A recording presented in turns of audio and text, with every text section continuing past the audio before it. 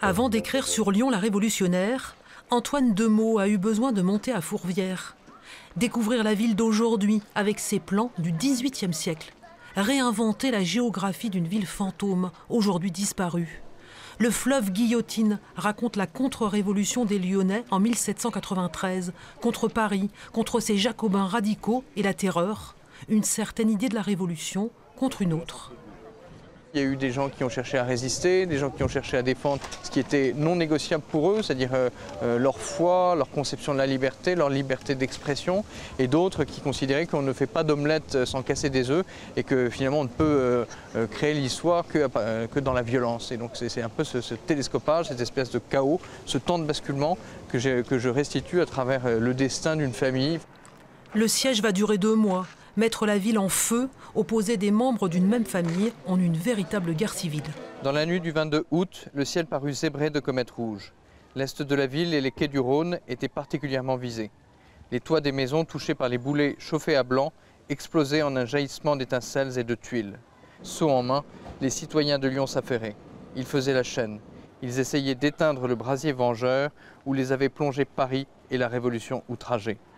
La répression sera terrible. Canon à mitraille, place des terreaux. Guillotine, comme ici, place Bellecour. La statue de Louis XIV est mise à bas et tous les hôtels particuliers détruits. Antoine Demeaux raconte tout cela avec un souci du détail historique, mais aussi un vrai souffle romanesque. Dans le roman, on peut rendre tout un tas de choses qu'on ne peut pas rendre euh, dans, le livre d'histoire ou dans le documentaire. C'est la sensualité euh, de, la végétation, c'est la beauté des paysages, c'est l'émotion qu'on peut ressentir euh, face au mystère d'une ville. Et pour moi, Lyon, c'est une ville magnifique qui, est pour moi une ville de mystère.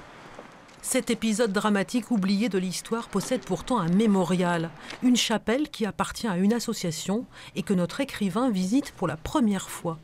Sur la liste des victimes, il y a le nom d'un de ses aïeux. Camille Demont, je ne sais pas si vous le repérez dans votre... Ça y est, je l'ai perdu. Ah oui, je il, est, en dessous. Là. Euh, il, est là, et il avait quel âge? 57 ans, capitaine. Et dans la crypte entourant le tombeau du général de Précy, chef des rebelles, il y a cet ossuaire, les restes des 2000 victimes de la répression, comme un avertissement pour le futur, quand la réalité rejoint la fiction. J'ai l'impression de, revoir un peu les personnages de mon roman et de les voir en vrai. C'est ça qui, me, touche. C'est très important de, que la littérature serve aussi à relier les, vivants et les morts, et aussi ceux qui, qui nous suivront euh, après. Antoine Demeaux sera à la librairie L'Esprit Livre le 14 octobre prochain.